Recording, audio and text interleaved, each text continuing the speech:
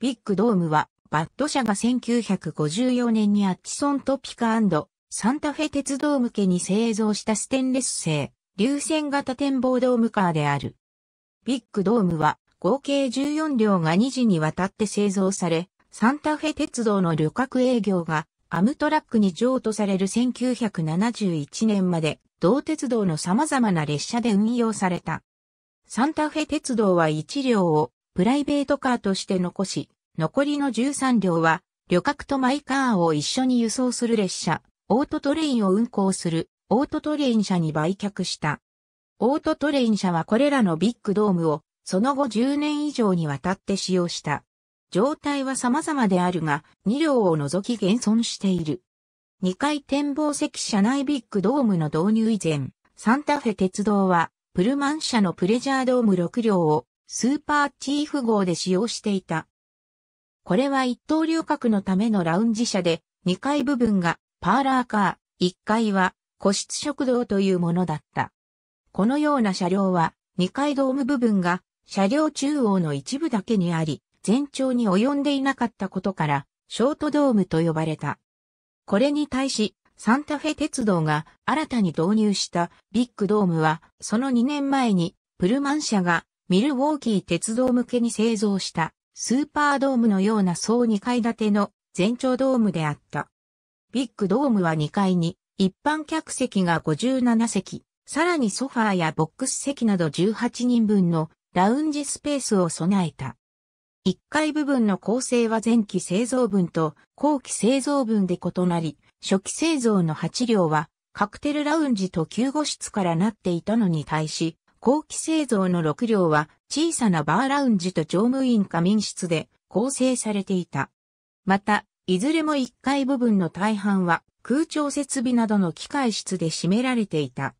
カクテルラウンジ室内は他のサンタフェ鉄道の列車と同様にユニークなインディアン装飾でデザインされていた。1971年、オートトレイン社が13両のビッグドームを買い取った際、車内の改装が行われた。リクライニングシートは固定座席に交換され、客席定員は51名に減少した。また、うち2両は2階ラウンジスペースをナイトクラブに改装された。サンタフェ鉄道には1954年の1月から5月にかけて14両のビッグドームが届けられた。デビュー当時の広告では、ビッグドームは世界一美しい鉄道車両と宣伝された。カクテルラウンジを備えた一時車は、エルキャピタン、シカゴ湾、カンザスシティアンで使われ、乗務員仮眠室のある二次車は、サンフランシスコチーフで使われた。しかし、ビッグドームが導入された1954年には、すでに後継のハイレベル客車の試作車2両が運用に入っていたこともあって、エルキャピタンでのビッグドームの運用は早くも1956年に完全に消滅している。その後、ビッグドームはチーフに回され、列車の運行自体が休止になる1968年まで使われた。サンタフェ鉄道での最後の運用はテキサスチーフ号であった。1971年に発足し、サンタフェ鉄道の旅客列車を引き継いだアムトラックは、テキサスチーフ号の運行は継続したが、ビッグドームは購入しなかった。この背景には、サンタフェ鉄道とアムトラックとの間でハイレベル客車ともども購入価格が折り合わず、交渉が難航していたという事情があった。